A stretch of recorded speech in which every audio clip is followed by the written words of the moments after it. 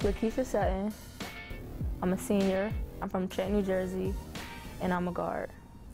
Where I like going back to the West Ward every time I go home. It's a recreation center for inner city kids across the street from my house. And um, that's where I started playing at when I was about seven or eight, uh, playing with the boys on all the boys teams, the only girl with goggles.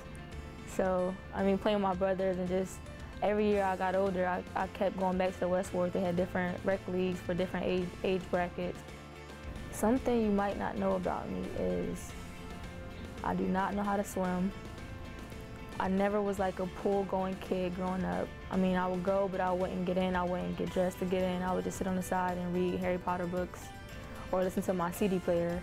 I think that's why I have this crazy fet like fetish with music and I just can't not have my earphones in.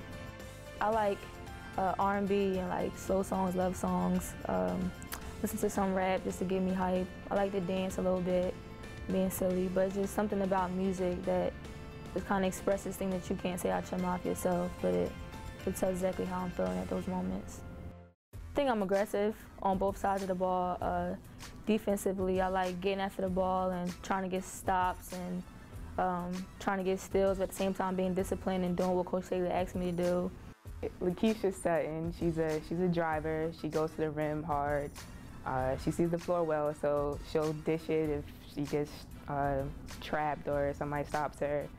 Uh, she loves to play defense on the other team's best player, so she's very physical. Um, she's developed an outside shot, so she's become a three-point threat. So you gotta watch the drive, watch the pass, and watch the shot. So she's a she's a tough guard. We try to keep each other focused. Um, if it's about basketball, if it's just about life. Um, I don't know. We just got we kind of understand each other. If there's a player dropping, you know, 25 points a night, I want to be the person to play that player and try to, you know, cut their um, production down and just, you know, help my team any kind of way I can on defense.